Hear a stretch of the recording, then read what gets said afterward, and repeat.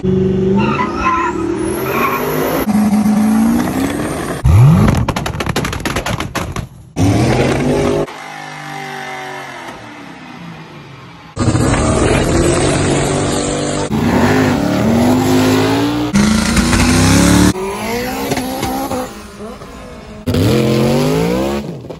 up YouTube? Coming at y'all with a quick video.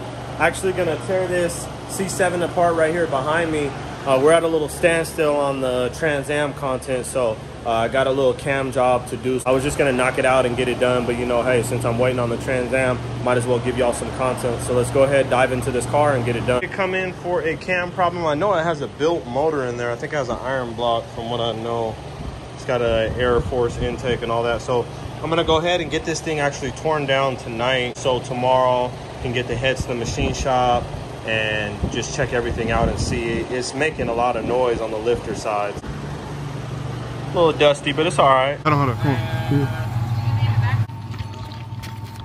Big body bands, remember I used to be dusty. Now I want my money. Hopefully it just needs the cam and the lifter and that's all it is. But until I get the cylinder heads off, it's hard to determine, you know, what actually is going on with the thing. It does run, but it just makes a lot of noise.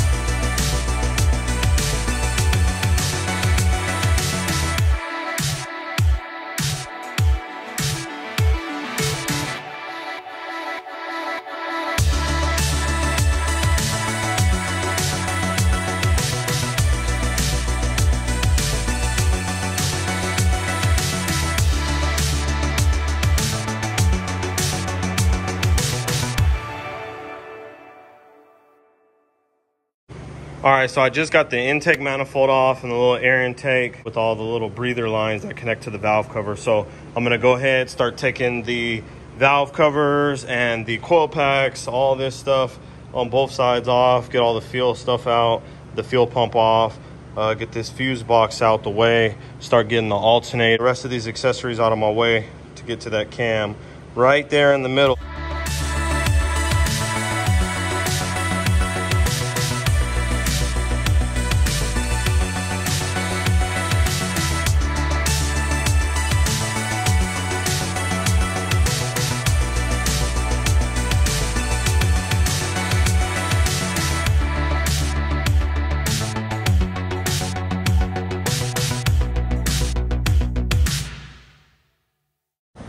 Right, so we got the valley cover off, we got the valve covers off, we got pretty much the top end, the injectors, the pump, and all that out. We're gonna go ahead and get the rocker arms off, get the headers out, spark plugs out, the water pump off, all that stuff out of the way, start pulling the head bolts out. We're getting there, but we do got to get it up in the air and I'm gonna drain the coolant and the oil out as much as I can out to try to prevent a mess if possible. I gotta disconnect the headers down below.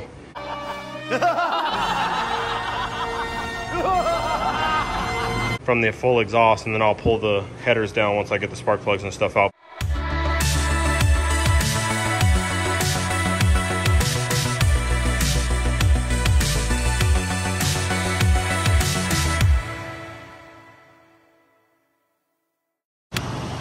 All right, so we're gonna get the rack loose. We're gonna get the oil drain. We're gonna get the coolant drained out. Oh, we're gonna have to cut the exhaust, unfortunately. Please, exhaust shops, please stop welding the headers together. I mean, bro, look at this. What the hell is even that? Like, come on, family. We gotta do better. Well, gonna get the sawzall out. Let's go ahead and get this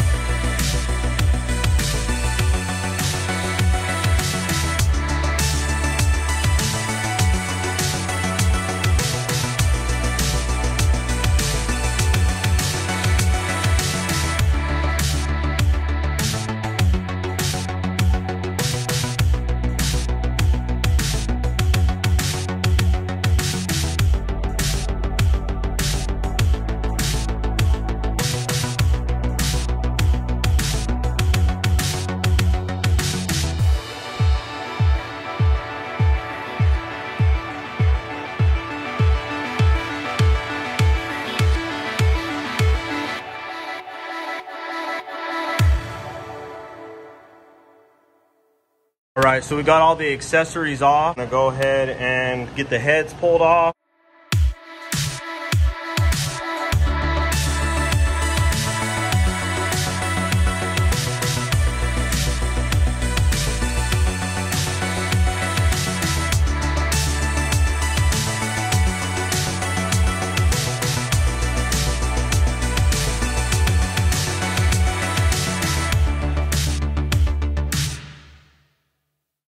Right, so you can see we got the heads off.